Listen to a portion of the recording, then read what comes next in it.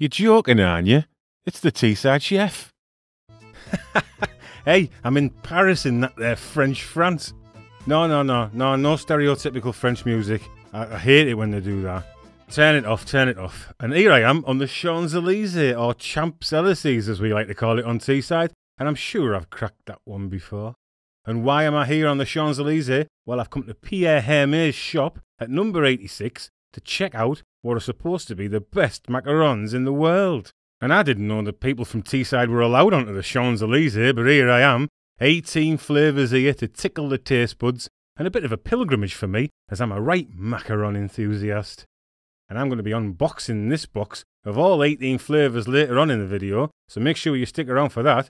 And I'll also tell you about my 15 minute argument on the Place de la Concorde moments after shooting this segment if you're lucky. But first, let's get in the kitchen and I'll show you my easy to make at home chocolate macarons recipe. And I'm doing two batches here for reasons that will become clear. But for one batch, you need to start with 75 grams of ground almonds and get the ones without the skins if you can. And add 90 grams of powdered sugar to that, in a blender of course, because we need to pummel these two together to ensure our macarons are as smooth as a Frenchman's chat up lines.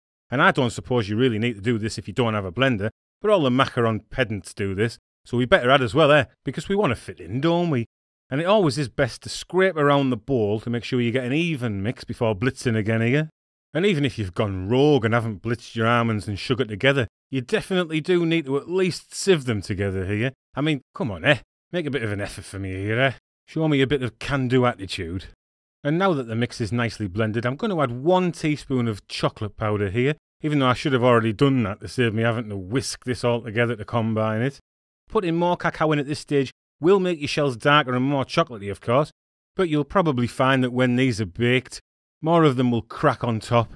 And that just goes to show how delicate this recipe can be, so you've really got to stick to this recipe, eh? Don't try and make it all individual and stuff, putting your own spin on it and not thinking that you're all clever. Anyway, I'm covering these dry ingredients now with cling film because any moisture at all is not your friend when you're making these. If it's a hot, humid day, for example, just go do something else with your time, is my advice. So now our dry ingredients are tucked away safely, we can beat 60 grams of room temperature egg whites slowly at first. We don't want to beat any large air bubbles into these egg whites while we're doing this, because we're just a bunch of absolute idiots if we do that, to be honest, to be fair. And we're not idiots, are we? I mean, we're all proper clever and that, so we have to exercise a bit of patience here. And after about a million years, our egg whites will start to froth at the mouth like I did on the Place de la Concorde. And that's when we can add our caster sugar, 60 grams of caster sugar here, and add it slowly, a tablespoon at a time, and wait each time until the sugar has had a chance to dissolve before adding another. And once all of our caster sugar is in, and we've made sure none of it's sticking to the sides, we're well on the way here now, so we can speed up the mixer and carry on beating the eggs. Now, you don't want to let your egg whites get too stiff here. You want to beat them to what's called the beak stage, where the egg whites look like a little bird's beak as they hang off the mixer blade. And I'm going to go in and gather some of this egg white up so we have a fair representation of the texture. And as I lift it up, you can see that little beak there. Let's see if we can get the camera into focus. There you go. And seeing as though we've kept our powder dry and we have nice beaky egg whites, we can mix them together. Add the egg whites to the dry ingredients and give them a bit of a leathering and you don't need to be too soft with them here. Show a bit of backbone, eh? Wish I'd shown a bit more backbone on the Place de la Concorde. I nearly got a leathering as well, speaking of leathering.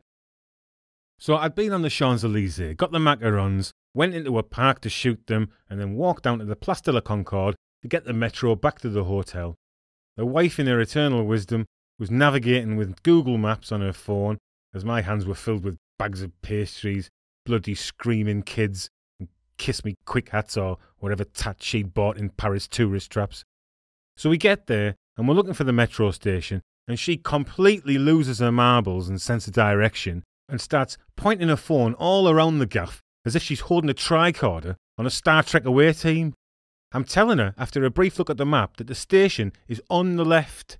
She insists it's on the right, even though she's spinning around like a ballerina trying to get her bearings, I'm telling it to get two points of reference with which to navigate from, but she doesn't seem to understand this basic concept and proceeds to strip me of all my dignity in front of hundreds of startled tourists. So, anyway, if ever you hit the Place de la Concorde after walking down the Champs Elysees, the inexplicably invisible and unsignposted metro station is just on the left, just like I said it was. Little tip for you there. Might save you some stress.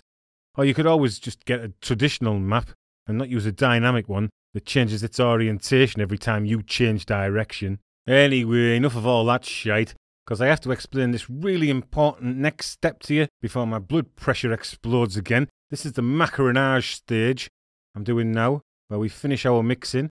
I'm using a pastry scraper here, and as I'm stirring it around, I'm gently pushing down on the mix to get rid of any excess air. We don't want to knock all the air out of it, but we want to get rid of the larger air bubbles. And as the mix develops, it should be glossy and it should settle in the bowl a little bit like molten lava. And I test it every now and again because what I'm looking for is a steady stream that drizzles off the scraper in one piece and doesn't break. So I'm testing it every now and again. And I'm going to give you a close up of what it's supposed to look like when it's ready. And there you can see that steady stream. I've slowed this down for you so you can have a proper look see at it. And once it's ready, we're going to gather it all up into a piping bag with a plain nozzle. Don't fill the bag too much here though, otherwise you'll end up doing a dirty protest all over your own hands. And before I fill the piping bag, so that I don't get any leakage out the bottom, I'm just going to twist the bag before I put it in this cup here, which is going to help me. And it's much easier to do it this way, unless you've got three hands like. So if you have got three hands, you don't need to go through all this rigmarole. Actually, you know, thinking about it, you probably need four hands to do this comfortably. Yeah. But I digress, because as you can see, I've got a piece of baking paper here now coming in, and I've drawn circles on one side to help me with the piping of the macarons here. I draw the circles to the size I want to pipe to, rather than the size I want the finished macaron shells to be. And I drew these circles about the size of a euro 20 cent piece, but I don't know how to translate that into English.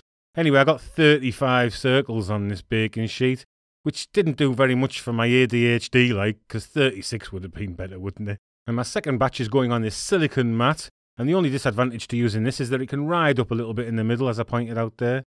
But in any event, get them piped on, and they will be tricky to pipe if you've never done this before. They spread a lot, and the mixture doesn't really want to let go. Give them a little twist or pull the bag away quickly as you pipe to make them play the game, but this stage might require a little practice. I mean, I've done this dozens of times and I'm still rubbish at it, if I'm completely honest. Anyway, that's the silicon mat taken care of, and that's the easy bit for me, so let's try these on paper now. And even though I literally have a guide of where to pipe here, I'm still not adhering to it very well. Don't panic if you're as rubbish as me though, these will come out of the oven better than you think they will. And now we've piped all these, we have to get rid of any large air bubbles by slamming the tray down onto our work surface from a height of at least 12 inches.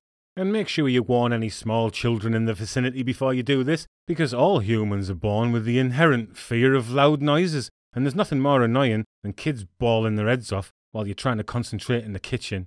I popped any remaining bubbles with a toothpick, and now perhaps my best tip when making macarons is to top them with sprinkles after piping. It looks pretty, you don't see it that often, and it will hide any imperfections on the top of your macarons. And you don't need to press these sprinkles down or anything, just let them rest on the top and they will stick properly. But in any event, after piping, you need to leave the macarons now for at least 30 minutes to dry out. You want them thoroughly dry before they go in the oven. I like to leave them a little longer than this though, maybe about 45 minutes, depending on the ambient weather conditions. I mean, you don't need to become a meteorologist to make good macarons, but a little bit of awareness of the weather conditions at the time will help you. Just make sure that you do test for dryness with the tip of your finger. If they're not sticky or tacky after the 30 to 45 minutes, then they're ready to go in the oven. 170 degrees Celsius, fan setting, that's about 340 Fahrenheit, and you want to put them in there for about 17 minutes. And while they're baking, let's go back to Paris and check out these world class macarons I've been banging on about. So after chewing on down the Champs Elysees, I decamped to a small park at the end of the street for this unboxing, and let's bring the bag in here. Very high quality and environmentally damaging bag, this one. And we're doing this on my temporary grass studio, as you can see. No expense spared in the production values here, let me tell you. And I've never watched an unboxing video on YouTube before, but I know it's a thing. Just like that ASMR.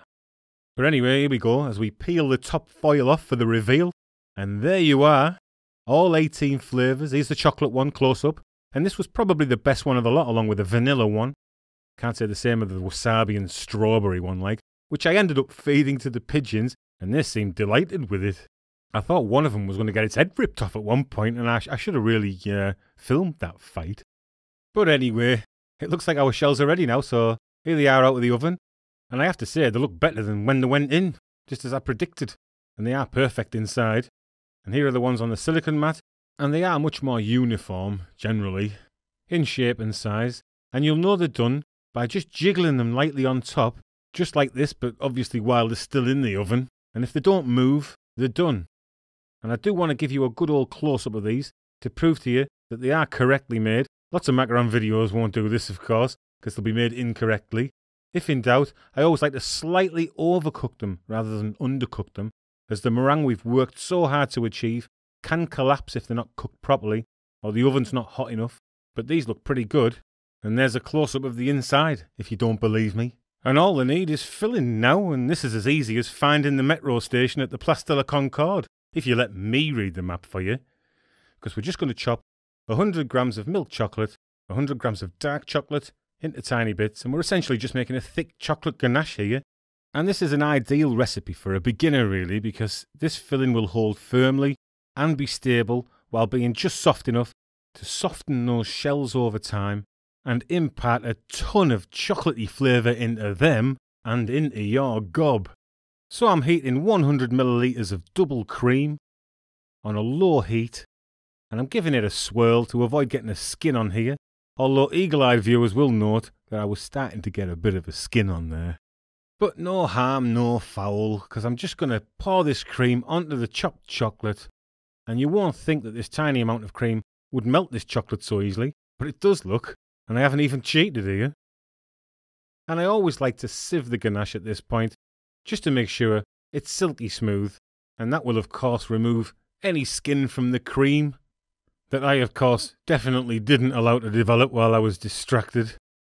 And any bits of chocolate that are being as stubborn as my missus when it comes to reading a map will also be removed by this process. And then just cover it with cling film and you can put it in the fridge until it's a piping consistency. And you're nearly at the end now because these just need to be filled generously with the ganache, give them a little twist, and then set them properly afterwards in the fridge for a couple of hours. And then I like to leave them in a cool, dark place for around 24 hours before serving them to let that flavour infuse and let the shells soften a little to a chewy consistency. And that's it, there you go. The fanciest, Frenchest biscuits in the world. Thanks for watching, everybody, and be sure to check out some of my other videos, especially the Paris ones if you're into that sort of thing. So until next time, Terra.